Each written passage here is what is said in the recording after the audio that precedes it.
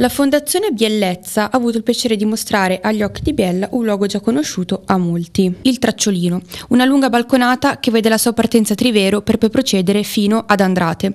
Come si è già ribadito, un posto noto che però ci viene mostrato in maniera diversa, proiettato nel futuro, come potrebbe essere e cosa potrebbe valere questa balconata per il territorio biellese. Il Tracciolino, inteso come punto di partenza da cui poter far crescere il nostro territorio. Spiega il presidente della Fondazione Biellezza, Paolo Zegna.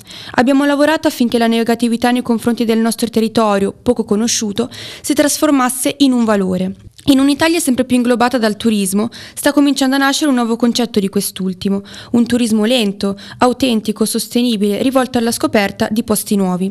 In seguito alla visione dell'aumento del passaggio di turisti nel nostro territorio, è cresciuta la convinzione che sia necessario puntare un po' più in alto affinché tutto il territorio diventi più ospitale ed accogliente. Un collegamento tra i territori cercando di mettere insieme tutti i pezzi che compongono il Piemonte.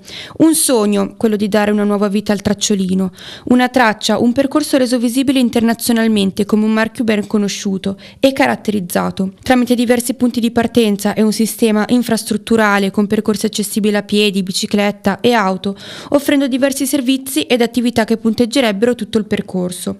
Insomma, un punto di lancio per far conoscere il nostro territorio e le nostre tradizioni e far crescere un turismo di nicchia.